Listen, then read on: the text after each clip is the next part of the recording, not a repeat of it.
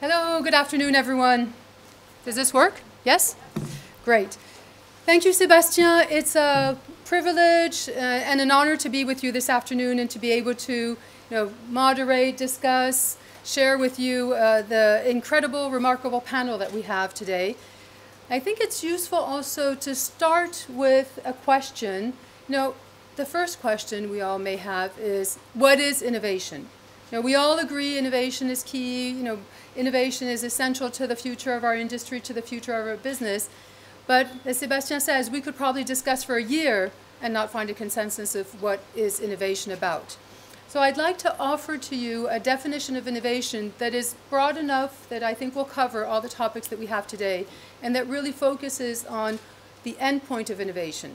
So today we're going to look at innovation as anything new or novel that creates or adds new value. So you could say, you know, creativity, all the great ideas, if they don't find a market, if they don't go all the way to actually demonstrating value, no, maybe we can question that that's really innovation. So that's what we'll be looking at this afternoon. Products, services, processes that create or add new value. Sometimes it's not new to the world, sometimes it is, as you'll find, you know, you'll hear from our speakers some really incredible uh, adventures that they've taken on, but, you know, creating new value for someone. Then we can ask ourselves, so this afternoon we're going to be answering the questions, why do we innovate? Now, what's the point is the whole topic of the afternoon. And then we're going to also look at who are we innovating for? You know, we're innovating for patients, you could say, ultimately in this whole industry. But, you know, not only. So we'll be looking at who are we innovating for, and then how do we innovate? And what are the different challenges? What are the obstacles? What did we need to overcome to be able to innovate? And you'll hear, you know, really great stories this afternoon of very practical um, challenges and successes. We're going to start soon with our keynote speaker, J Professor James Barlow, and I'll say a little bit more to introduce James, uh, to give you an idea of the flow of the afternoon. So first we'll hear from Professor James Barlow, who's going to really set the stage and give us a quite comprehensive perspective on you know, why do we even want to need to innovate. And then after James um, is finished with his presentation, we will enable you to engage in the conversation and have a Q&A answer for 15, 20 minutes. So, you know, that, jot down your thoughts as you listen to James' presentation, write down any ideas, you know, see where you can connect the dots, and then we'll have some time for that after the presentation. Then we'll take a break, and during the break, that's the first opportunity to you know, learn, debate, and network. So really start connecting with each other, you know, start to share what are some of your challenges, some of your innovation successes and difficulties. And we're very lucky because the sun's out. So if that stays, you know, we can mingle in the garden. There, we'll come back at 5.30, and at 5.30 we will hear from each of the presenters. So our five pre uh, presenters this afternoon, five speakers. And at the end, have a panel, roundtable, and Q&A session. So once again, be prepared during the afternoon to, you know, write down notes, jot down questions, you know, things that you really, really want to ask from our, from our speakers, and then we'll all come back on stage and have that uh, panel, panel and Q&A session. And at the very end, we'll leave some time for our speakers to wrap up and share with you some of their like key thoughts. You know, what is the, the, the last few words that they want to leave you with, and then I'll hand it back over to Sebastien to to uh, wrap it up at 7.30, but that's not the end. From 7.30 to until late, I think it says in the agenda, so that's great. How late? We'll see. You know, as late as as late as you like.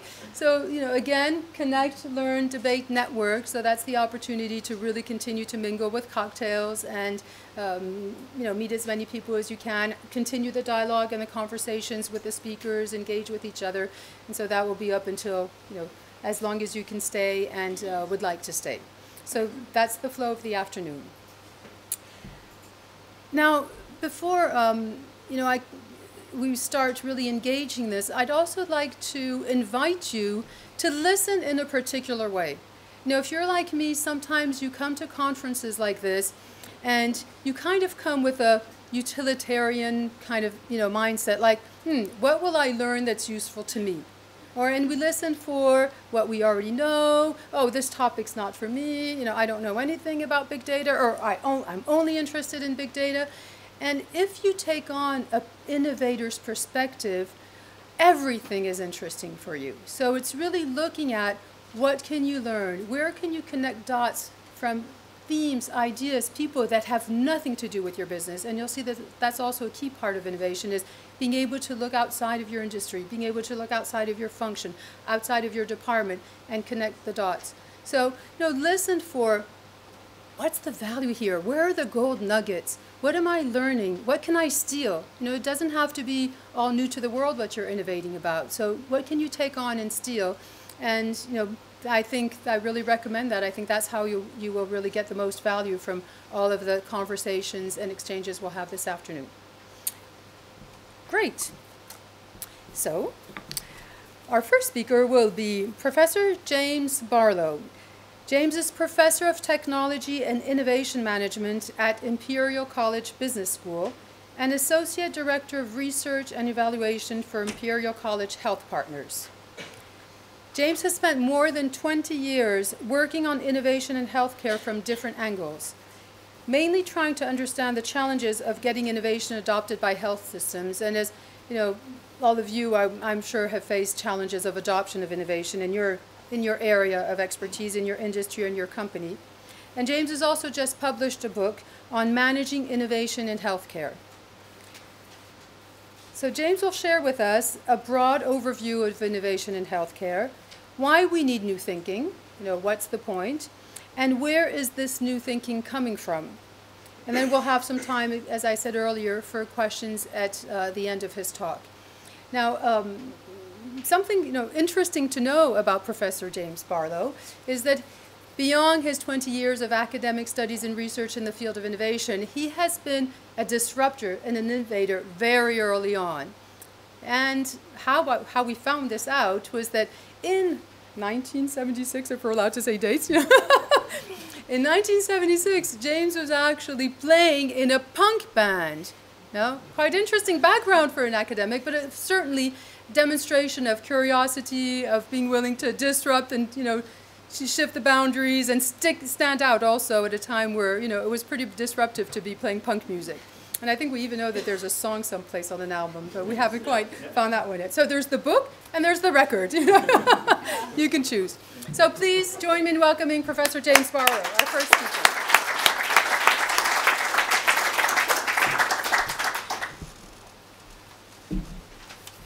Yes, I, I, won't give you the link to the, uh, the song. It's too embarrassing. Um, yeah, you'll, you'll, you'll find it. You'll share it. Yeah. Um, Yes, no, it was well, actually I, I, I really like that music in this, from the 70s now, which we were trying to disrupt. I think all the, all that disco stuff from the 70s is great, and um, uh, but we you know things come in cycles, don't they? Um, so um, merci beaucoup Marie-Caroline, Caroline, uh, Sébastien, Annette, tout le monde. Je suis très content d'être à Paris, um, but I will speak in English. Um, um, my French is is okay, but it's a bit rusty. Um, so I think my, my, role really is in the next sort of 30 minutes uh, just to try and um, uh, get you thinking about this question, um, innovation in healthcare, what's the point? And I was a little thrown when I saw the title because I, I hadn't quite taken that on board when you, uh, you asked me to speak at this conference. Um, but, but I think what, what I'm going to say does fit into that um, that, that, that, title of the, uh, of, of, the conference. Um, because what I really want to do is just to kick things off by getting you to try and think about um, some of the big global health challenges uh, that require new, innovative thinking. But really importantly, I think, I, I want to leave you with the idea that um, innovation does mean different things and uh, it's not just about science and technology. And um, actually, a lot of the change and a lot of the real benefit, I think, from innovation in years to come is going to come certainly from science and technology, but really also from organizational change and um, new business models, new service delivery models, and so on. Um, so, um, so that's that's the aim. So I've got 30 minutes, um, and there we are. Slides down here. Um, um, there we go.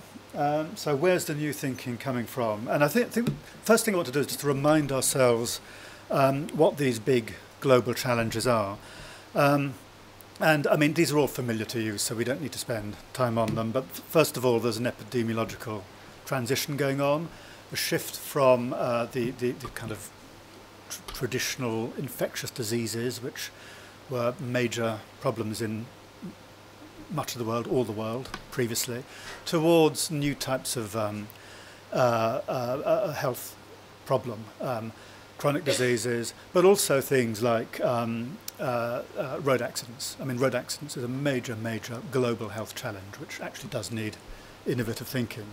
So we've got this epidemiological transition. Um, some parts of the world have got the problem of the burden of both types of condition, the, the old infectious diseases and the new chronic diseases as well, which are beginning to bear down on their countries. So, so the, the, the, the, the kind of pattern of um, morbidity is changing, first point. Um, aging, of course, is, is, is a huge, huge issue. Um, something like a, a, billion extra people aged over 60 um, in, um, over the next 35 years. Um, uh, 60 is not old. I, I had my 60th birthday uh, in January, so I don't consider myself to be old. But um, within that billion, um, and I forget the, the figure now, but um, a substantial and growing proportion of people aged over 85. So, so sorry, okay, is this, this, is this one working? Okay, right. Um, so the old, old within that aging population are again a big, big challenge for health and social care systems. Um, uh, chronic disease uh, and diseases associated with uh, lifestyle and uh, and in particular obesity uh, is again another huge issue. Um, 2.1 billion additional people um, by I think it's in the next 35 years, and um, uh, you know a huge problem for for, for health systems. Um, and then there are um, the big unknowns as well. So, so we know about the epidemiological transition, we know about aging, we know about obesity, but then there are also the unknowns as well. Um, antimicrobial resistance um, and climate change. Um, certainly, climate change is beginning to have an impact in terms of the spread of uh, conditions which um, perhaps had previously been eradicated from some parts of the world, but are beginning to reappear. Dengue fever there.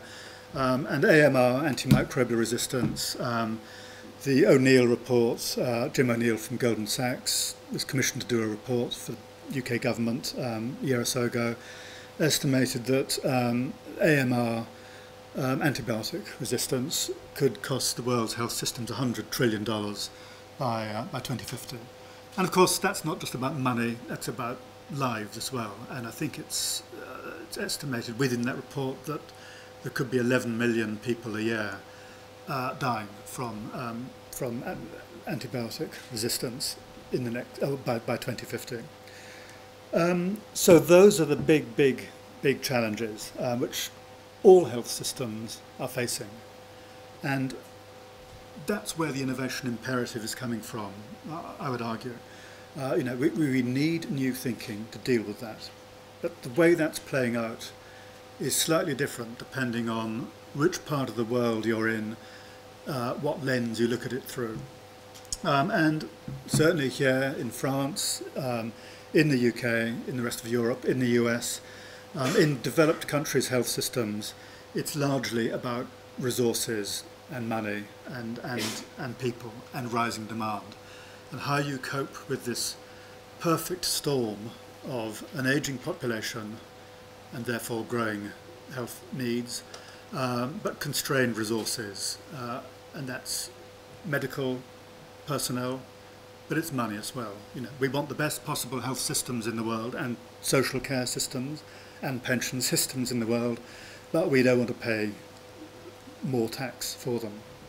Um, so, so we have this this problem of, of, of money, and um, there's uh, uh, President Obama introducing Obamacare. You know, we, we, we, if we don't do something with the health system, we'll just go the way of General Motors. We, we'll, we'll end up uh, paying more and, and, and getting less uh, and going broke. Um, so, big challenge, and it's just as much an issue here in France as it is in the UK, where um, the estimated funding gap between available spending, available resources on the National Health Service, um, assuming we don't spend a lot more of our tax money on the NHS in the next 10 years or so, uh, the gap between what's available to spend and what the actual need might be could be anything between 20 billion and 60 billion pounds per year, that is. That's not some cumulative total, that's annual, annually.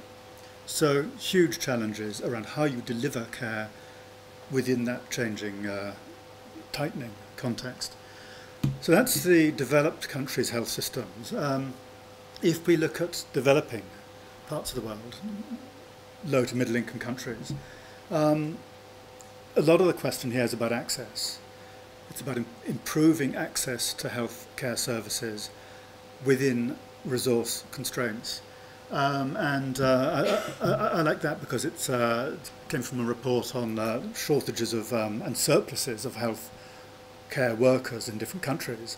And um, what that basically shows is the, the, the countries where the biggest shortage of health workers are and the ones where the, the, the, the, the, the lowest shortage. Now, I, I know in France and I know in the UK and the US, you know, that there are shortages of doctors and nurses, but um, compared to South Asia and, and, and um, Africa, you know, it's, it's, it's, there's no comparison. And actually there is a correlation between the two because, of course, a lot of people move from those countries to the developed ones to, to work.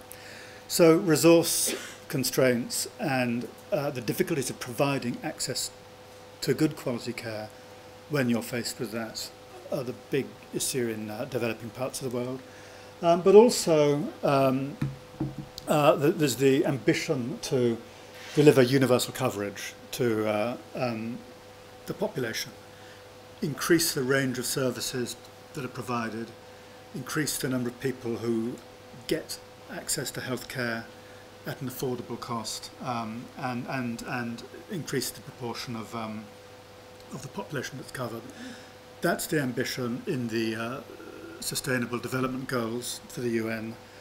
That's what countries are thinking about in developing parts of the world. And of course, innovation is needed to deal with universal coverage.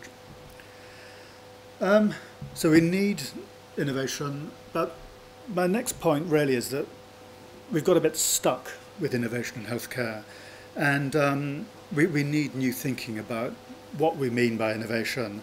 And in particular, we need to address three things, three, three barriers, three, three issues, um, which are problems, I think, for those of us thinking about innovation in healthcare and trying to deliver innovation in healthcare. And I'll go through each of these in a moment, but it's the innovation productivity problem. Um, and I know that you know a lot of people in the room are from life sciences industries, biotech and, and pharma, and some people from medtech. And I'll, I'll come back to that in a moment. Certainly there are issues around the productivity of research and development in those sectors. Um, but possibly even more importantly, there's an innovation adoption problem in any country you really get you, you really come to. As you all know, it's one thing creating the new innovations, it's another matter getting them actually taken up in practice. And then lastly, there's what I've called the innovation paradox, which is really a question around um, the costs and benefits of innovation in healthcare compared to innovation perhaps in, in other sectors, in other industries. So I'll just quickly go through each of those. Um, so first of all, science is not the problem. Um, uh, different estimates around, I mean, everybody says, you know, the pace of knowledge and, and change in the knowledge, in knowledge about medicine is immensely rapid. Different estimates up there on the screen about how quickly our knowledge about um, life sciences and, and medicine doubles, you know, most people reckon it's every five years or so. Um, who knows? Um, and probably we can't actually ever measure it actually. But anyway, the science is not really the problem. There's, there's lots of science out there, and lots of it goes on at my university, at Imperial College.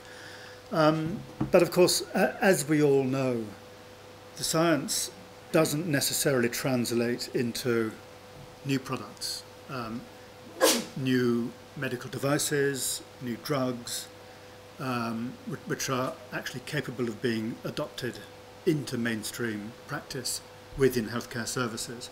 And um, those are quite old, those, figures. I couldn't find a more recent one, but uh, and I don't need to tell you about the, the sort of increasing amount of research and development uh, uh, funding that goes into the pharmaceutical sector or, or basic drug research, and uh, less and less coming out of the pipeline at the other end. We, we may be turning a turning that around a little bit now. I've certainly seen some different figures on um, the number of new uh, new drugs coming out of that pipeline. Um, um, we can talk about that later, but certainly there's been a innovation productivity problem within the pharmaceutical industry, um, and you can't get comparable data from medtech because it's so diverse anyway. But I suspect probably you'd see the same sort of problem as well. So there's a sort of productivity issue here. Um, but possibly even more important than that, there is the research translation gap. Um, what do I mean by that? I mean the ability to turn that science, that, that basic research, into potential innovations, new products, new, new drugs, new devices, for example, but actually get those taken up and adopted into mainstream everyday practice within health systems. Um, and again, there are various estimates of how long it takes to get a new uh, healthcare innovation adopted. Uh, once it's being once it's been created, trialed, you know, licensed perhaps if it needs to be, it can still take uh, possibly as much as 17 years. That, that's the, number of studies. This is a meta-analysis of different studies. Um, 17 years from um, uh, for, uh, which is the time lag for adoption. So, and I'm sure I don't need to tell you. Uh, you know, I'm sure you've been there, you've done it. You know how difficult it, it is to get new drugs taken up um, or new medical technologies. Um, so we have a huge issue around the flow of innovations through that pipeline into mainstream everyday practice. And there are a lot of reasons for that, which we you know, may come out in the discussion later, but um, you know, there's regulation, there's payment and reimbursement, there's the complexity of a lot of innovations. I mean, quite a lot of medical devices, for example, are not actually the technology. It's what's wrapped around them. It's the organizational change, it's the service delivery change, it's the business models and so on. And that's why they're very difficult to get taken up into an immensely complex environment, which is healthcare. Um, so we have a translation problem, um, and um, and you know different countries are some countries are better than others at taking up new innovations. Um, we're trying to do some work at the moment uh, to develop a global um, innovation index, uh, a healthcare innovation index for for, for countries. Um, there are global innovation indices in general, so to say that France is you know number 10, UK's number 8, you know, Switzerland's number 5. But nobody's done that for healthcare, so we're trying to do that at the moment. Um, I've got a meeting at the OECD tomorrow about that. Um, but um, one thing we've been looking at is some sort of tracer innovations. Um, uh, uh, uh um, innovative devices, innovative drugs, which are evidence-based, which you know everybody agrees should be adopted. And uh, it's quite interesting just seeing the different uh, rates at which countries adopt those innovations. France comes out actually in, in these two particular innovations as being an early adopter, um, um, in, in uh, particularly in statins. Um, I'd like to hear from you why that's the case. Um, but you know, you can see the familiar sort of S-shaped adoption curve there. Things start slowly, ramp up, then they tail off. But I mean, the point is, loads of years down the bottom, and it can take a very long time for countries to to to to adopt a new healthcare innovation. Um, that's the developed world, and of course, in developing countries, there are also other problems as well. Um, so um, this is from a report we did for the Lancet um, uh, four or five years ago. Um, and, you know, sometimes the technology just isn't available. It, it hasn't been developed. Um, but often it exists, but it's not appropriate for that country. It needs um, an infrastructure for it to be taken up, whether it's training or whether it's you know stable electricity supply, stable you know availability of water, or whatever, um, or it's just it's, it's bought and then it's, it's gathering dust in a cupboard. So many many issues around the right kind of technology for resource poor parts of the world, the, ones I mentioned right at the beginning. Um, so there's an adoption issue in developing countries, but it's perhaps slightly different from from from here. Um, so um, last, so so I've talked about productivity, research and development productivity. I've talked about the adoption question, um, and um, last point I was going to make in this little segment was about um, this, this paradox of uh, um, uh, cost inflation associated with innovations and in healthcare. Um, now, you know, we all know that um, our mobile phones get better and better every year. They don't necessarily get cheaper, but you know, you get a lot more for your money. Your laptop computer is way in advance of, of um, you know, what was available 10 years ago for a fraction of the price.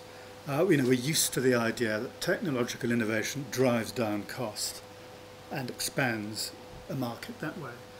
Well, the problem in healthcare is that that's actually not necessarily the case. And um, it's not the case for a number of reasons. Um, it, but predominantly, when you're bringing in new technological innovations in healthcare, they're actually allowing you to do more things, treat more people, treat people who previously couldn't be treated. They're older people, perhaps. You know, we can operate on very elderly people now. Um, the innovation itself may be more expensive than what it's replacing. Um, um, it needs training. You need to run the old model with the innovative model at the same time whilst you're winding down the old, old model and ramping up the new one. So technological innovation in healthcare doesn't necessarily save you money um, overall as a health system or as a tax, taxpayer or as a government or as an insurance uh, company. Um, again, different estimates. Economists love you know playing around with the numbers, but certainly in the US, it's been estimated that between about a quarter and um, getting on for half of all the cost inflation in the US health system since the 1960s has been associated with the adoption of new technological innovations. And that's great for you and me. You know, we get better healthcare, we get great treatment, better drugs, better operations, minimally invasive surgery, but it's got to be paid for. Um, so I'll come back to this in a moment. So, so, so there is this slight difference, I think, between the way innovation, technological innovation works in healthcare compared to some other sectors of the economy. Um, so, where is this new thinking coming from? And let me just spend the next five, final five minutes or so just sort of uh, going through some thoughts and really just hopefully setting up some of the discussion later on where I think we need to focus our attention when it comes to innovation in, um, in healthcare. Um, so first of all, this point about uh, productivity of our R&D and, and, and, you know, the, the, flow of new ideas coming through the pipeline from the, the, the initial research. Um, and again, you know, I, am not going to dwell on this because I'm sure you, you're fully aware of all this and you're involved in this deeply, I'm sure. Um, you know, lots of talk about new innovation models, uh, moving towards more open innovation models, uh, you know, sourcing ideas from from outside the company, um, finding the right vehicles for, for, for doing that. Um, so open innovation is, is what everybody talks about. Um, it means different things in different contexts, uh, and it means different things to different companies. Uh, we even have biohacking now, and I, I know in Paris there's a, is it, I forgot what it's called, La, La Palace or something, some biohacking space in, in Paris, where people are given the opportunity just to experiment with, you know, bio innovations. Um, so new, new innovative models. I mean, I think you know there's actually very little research on the benefits of these, but certainly everybody talks about them, and and um, there may or may not be one way forward. Uh, the other point here is about harnessing the power of uh, data. Um, you know, we all talk about big data without actually defining what it means, and I'm, I'm not going to define it either. Um, but you know, the, the, the, the power of data, the power of data analytics is increasing exponentially. If we can find ways of gluing together those different sources of data, um, then potentially at least that is a way of short-circuiting some of that R&D process and, and, and improving the pace at which we bring ideas through research and development and, and prototyping and trials and, and so on. Um, um, adoption and, and implementation then, the, the, the translation problem that I mentioned. Um, and a lot of this really is around the health system complexity. Uh, you know, we, we, have very, very complex health systems uh, in developed countries, and I've been doing some work in Burkina Faso with on, on malaria, on, on GM mosquitoes and malaria. And I, I went, I sort of started out naively thinking it'll be much simpler in Burkina Faso. It's a kind of virgin territory. It's a you know rudimentary health system, but actually it's just as complex in terms of the way institutions, regulations, professional silos, funding silos work together within the health system. So we have very complex health systems, and getting innovations adopted faster requires us to think about how we organise healthcare, uh, I, think, and take some of that complexity out of it. Um, but it also requires us to think about where we support innovators and, and support innovation. Um, and France, UK, US, all developed countries spend a lot of money supporting uh, research and development in medicine, in life sciences, uh, in medical engineering and so on. Um, but it's very skewed. It's a bit out of date now, but it won't have changed much. Those figures from the UK, um, and it shows of the three billion or so pounds a year that are spent from public funds supporting healthcare innovation. The vast bulk of it goes on the early stages, the creation stage, and not on the rest of the pipeline, the translation of that research and development into practice and supporting healthcare providers in actually taking up those innovations in the first place. Um, as I said, healthcare is immensely complex. Um, um, all those excuses, oh, I'm sure you've heard all those. Um, uh, you know, if you go to a hospital or primary care authority, try and sell your new idea, typically those are the kind of excuses you get.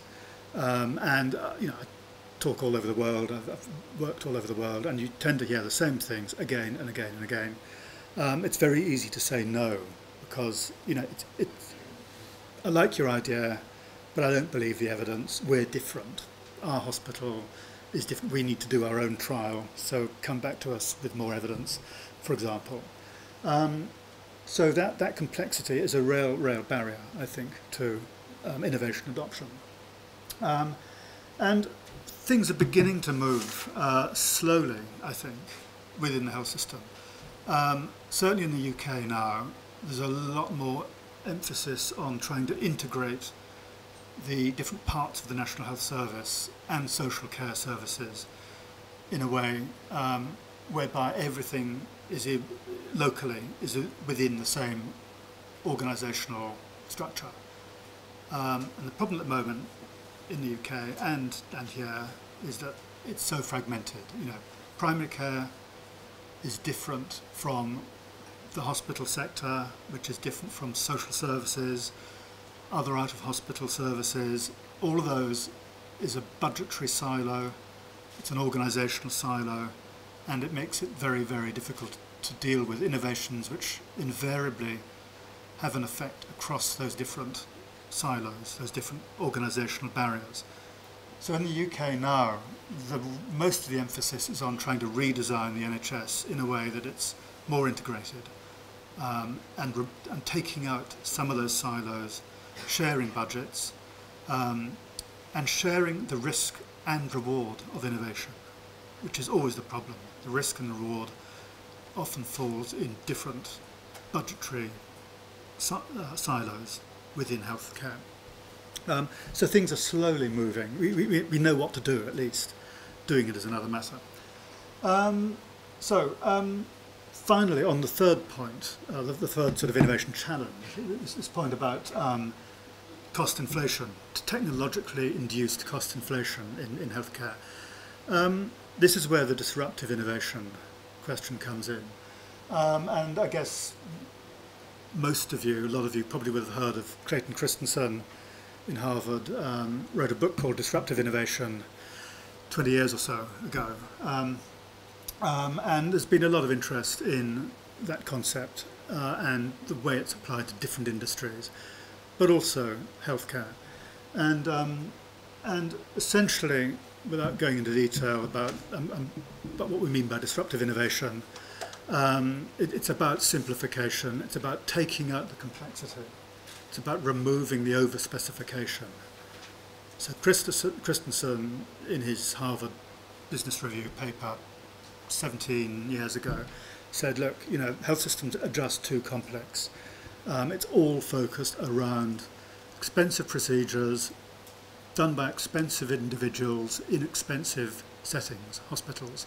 And we've got to drive that care out of hospital into the community, um, get other people, you know, give give different types of healthcare professional the ability to deliver that care, uh, and even drive it down to us as individuals and, and, and self care.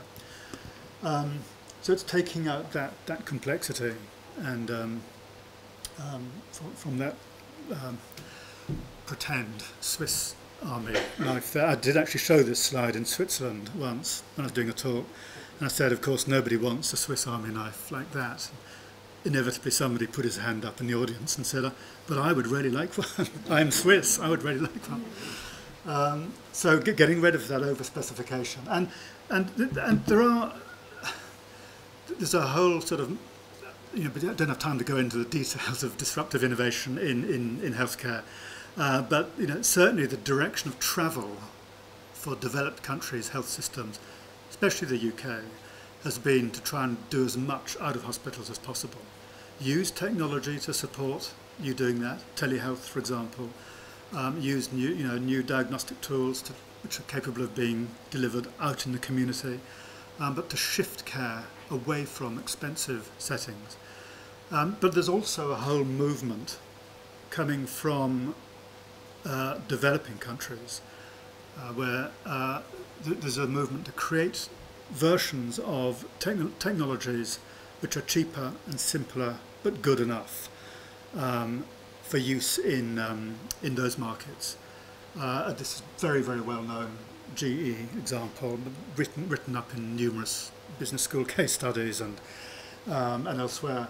Um, but the interesting thing is that that cheaper, simpler um, cheaper, simpler ECG uh, scanner is now being imported into developed health systems for use um, in, in, you know, out in the field.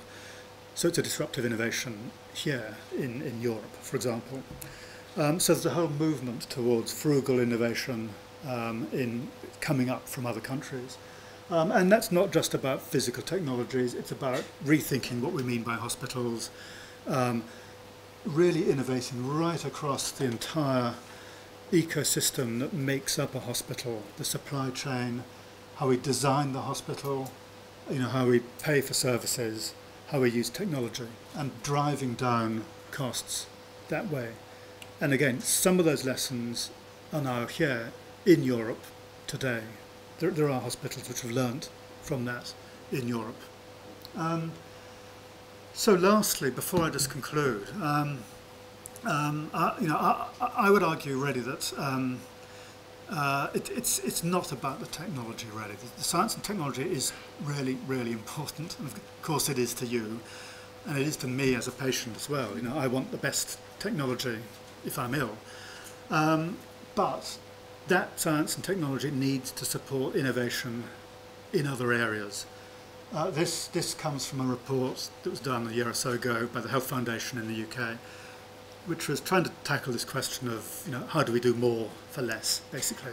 How does the National Health Service cope with this, this onslaught of demand plus resource constraints?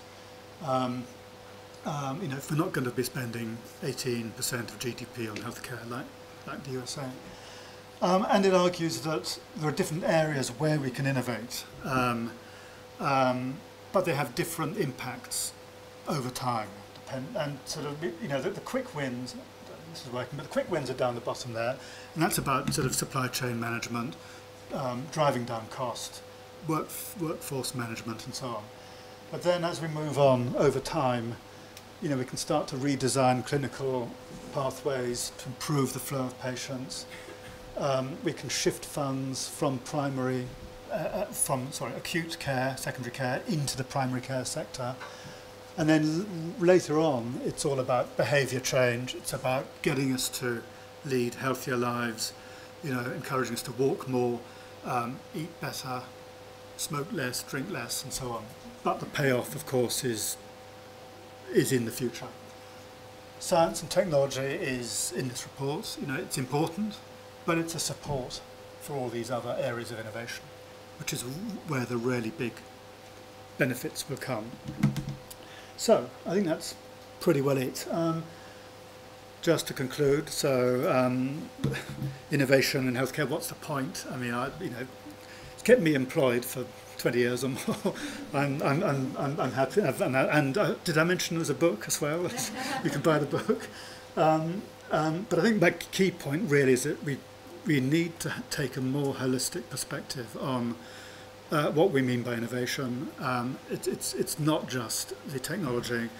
Um, they were, I'm sure we can replace them with some uh, Donald Trump ones at some point. It's getting a bit dated, but it's, it's not just the technology, it's the organizer, you know, we, we really need to rethink how we deliver healthcare, how we organize it, um, how we pay for it, um, uh, and, and, and uh, that's where the really big benefits are coming. So, there we are, finished, there's the book. okay. Okay.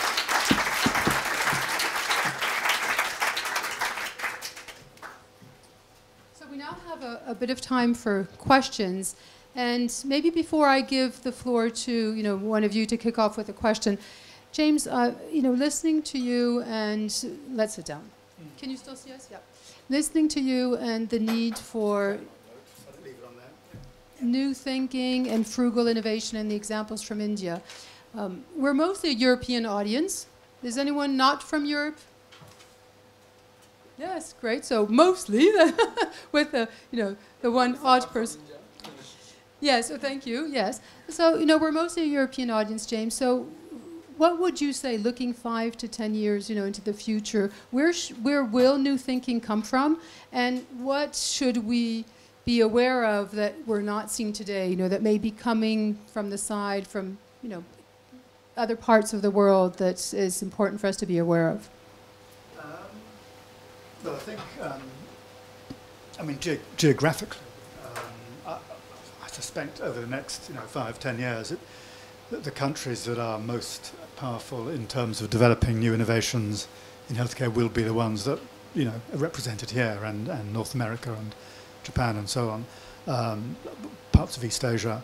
Um, but you know, I, I, I, do think there are very interesting models emerging from uh, more resource poor parts of the world uh, where they, you know they, they, they do have to think about um, how you deliver healthcare universally, um, but do it in a way that is affordable. Um, um and I think what, you know, just as an aside, um, one of the dangers in a lot of those countries is um, that they just replicate 20th century models of care when they should really be using technology, mobile phones, for example, new diagnostics point of care testing and so on to leapfrog the old model, uh, you know, to do a truly 21st century model of healthcare.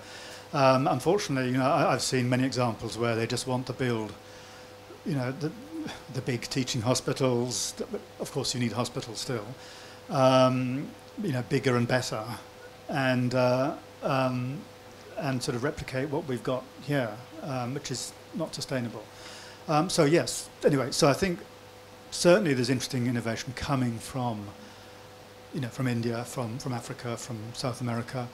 Um, I think also, you know, I, I, as I said, I mean, I, you know, it's, it's not the technology that's the problem, actually. It, it is, you know, we need to grasp the nettle and really start to think about and have a debate about how healthcare is provided, um, how we pay for it, um, how we organize it.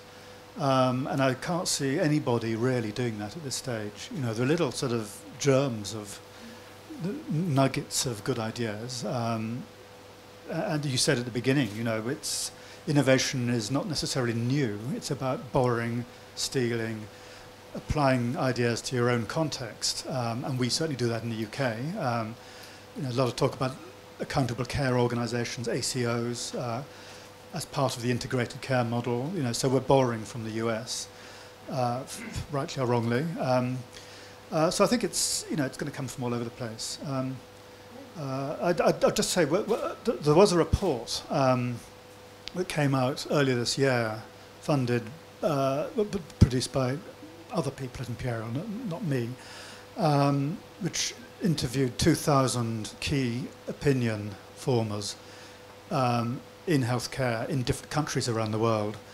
And they, one of the questions they were asked was, um, where do you think the innovations are coming from? Where do you, you know, where do you draw your innovations from in your health system?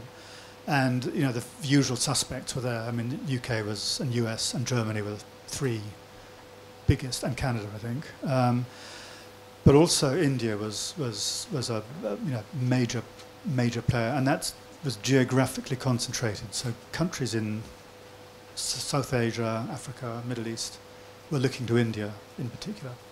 Thank you. Thank you. Who would like to ask the first question? Yes. Do we have uh, mics? Or,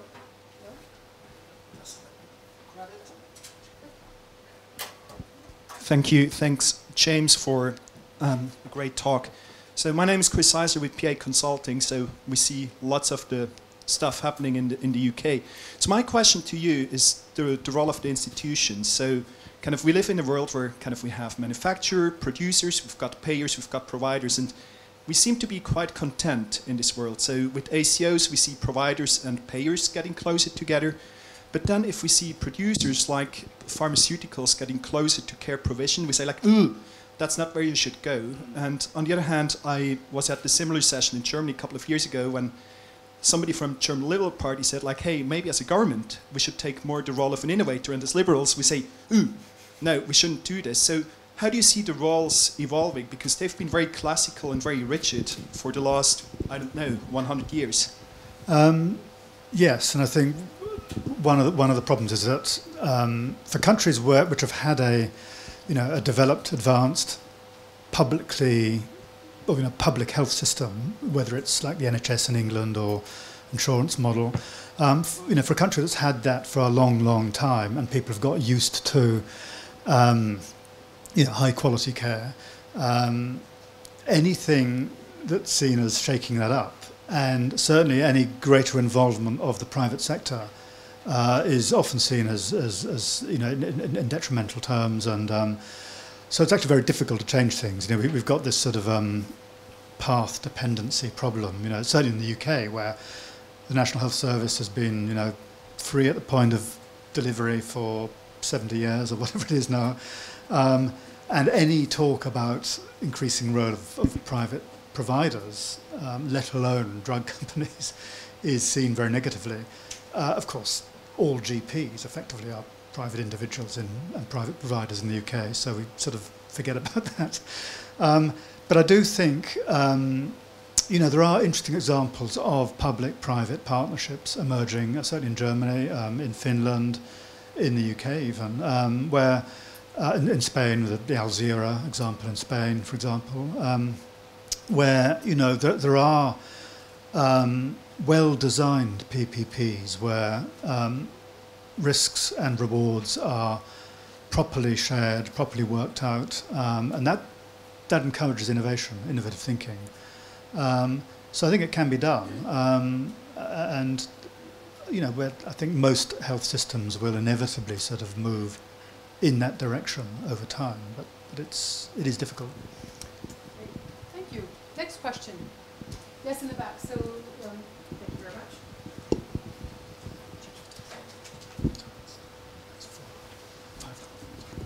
Mm, Malina from Switzerland. I will perhaps shock you a little bit, but I think that uh, innovation is really about technology.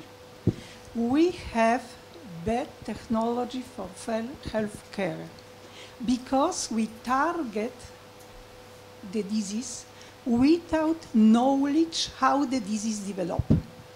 And we, uh, for 25 uh, years, we accepted that this is developing aging because we have the beta gene. And it is not true because I have found the technology, and my company is working on, on the technology, uh, we, they, when uh, we have modified protein, the modified protein lead, lead to cell degeneration and to pathology. And this is the main problem for all diseases in aging and also in infection. And you pointed very well that we have very big problem with antibiotic resistance, but nobody would like to change. I contacted a lot of big pharma venture capitalists. They don't want to change. They would like the next antibiotic, but they don't want the new technology which just stop infection because your immunity is boosted. And uh, it is, uh, you know, it is a hypocrisy that we have the technology to mm. stop infection, to, to uh, limit, uh, limit the use of antibiotic, but this technology is rejected. And also the people with aging can stay healthy, just taking my molecule, uh, five microgram per week, and unfortunately nobody would like that uh, it will be on the market. It is complicated. Thank you. I mean, I, well, I, I, yeah, I, I, I, I, I, think there are clearly there are a lot of vested interests that don't want to change things, and you know, new diagnostic point of care tests clearly have an impact on, you know, helping us to detect um, infections faster, and that has a knock-on effect on, you know, demand for drugs, and so so that you know that there are kind of inbuilt institutional vested interests that that, that, that um, mean things don't change. Certainly, um, I, I, no, I, agree with you. Um, I think the, I mean, the other point, I guess, and, and you'll know this better than me, perhaps, coming from particularly from the biotech and, and pharma sector, is that I guess the sort of low-hanging fruit, the kind of easy you know, the easy medical conditions have been researched and, and we have solutions for those. And what we're left with now are the more difficult, difficult ones, um, you know, associated with multiple comorbidities and, and aging and all the rest of it. So, uh, you know, it, it is going to get more difficult, I think, to, to, to innovate. Um, uh, and, and, you know, unless, uh, unless we get better at the actual innovation process. Section, we'll take two more questions. I think someone was in the back, yes? And who would like to be the last question for this section, this session? Okay, so one here, one there. Sure. Uh, Gonzague Deté from Nestle Skin Health. A very quick question, very basic, and uh, it's a very broad one. But how do you see uh, new players such as uh, Google going into healthcare? Uh, do you think they could become a a key player in the future, and how do you see them, I mean, beating the crowd and eventually um, compete versus the uh, big players and, and, and new medtech and uh, new companies? Basically, with what you know today, what is what you see today, how do you see players such as Google? Well, I think they're clearly there, you know, waiting in the wings to come on stage. And, um, anyone from Google here? Yes, yeah. Um, um, I, I guess they've, you know, so far it's actually been rather difficult for those players to find, you know, what the business model is and where they insert themselves into uh, in- incumbent existing health systems. Um, but clearly, you know, they, they are a massively important force. Um, and I guess they're a force in terms of data, and uh, you know, collect huge amounts of data on our lifestyles, which clearly has a, you know, an impact on our understanding of wellness and uh, disease, and um, potentially is able to be fed into the drug development process, perhaps. Um, uh, but you know, I, as I say, I think they are they're there. You know, they're, they're waiting. Great, thank you. So we have a question over here, We keep on your questions for the Q and A at the end of the presentations and also, you know, tonight, this evening around drinks. So thank you. I'm Sabin from Merck, and um, so I was in Cambridge a few months ago, and there was a lecture from Andrew Witty who retired from GSK. It was very good because he, he was talking about the innovation that is mainly driven by the the, the high price market, US, Europe, and uh, Japan. And he said that's very it's very interesting that we don't rethink about the model. Everything is, is led by price and those uh, targeted therapy. And he said, and that's my note that we should rethink the value creation as a dimension of price, cost, volume, and, time. And we are looking at new business model, for instance, where you pay as you go, for instance, like you pay for your mobile phone. And uh, what do you think about those new business models? Because business model innovation is also a way to tackle that. Yeah, no, I, I, I think a lot of it, as I suggested at the end, I mean, a lot of it is about rethinking the business models for healthcare. You know, from whoever's perspective you're you're looking. Um, but uh, certainly, those pay as you go models are, are are you know being experimented with, and I think are part of the arsenal of of new, innovative, um, uh, you know, organisational sort of uh, innovations for the future. So yes, I, I, I agree. Thank you very much, James, for setting the stage for us.